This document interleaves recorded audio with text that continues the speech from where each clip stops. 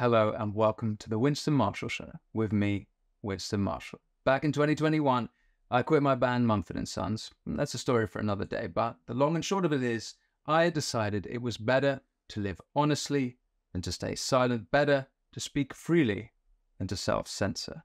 Well, two and a half years later, I can truthfully say it's a much better way to live. It's the only way to live. I joined The Spectator after that, starting my show Marshall Matters, interviewing public intellectuals like Jordan Peterson, Neil Ferguson, Peter Boghossian, Mary Harrington, Louise Perry, Yeonmi Park, Posie Parker, Michael Shellenberger, and many, many more. It was a privilege. Well, now I'm going independent.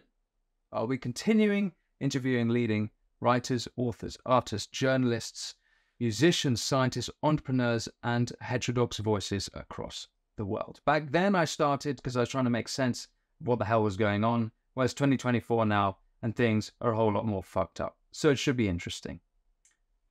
I'm excited for you to join me on this journey, and I hope you enjoy it as much as I do. Welcome to the Winston Marshall Show.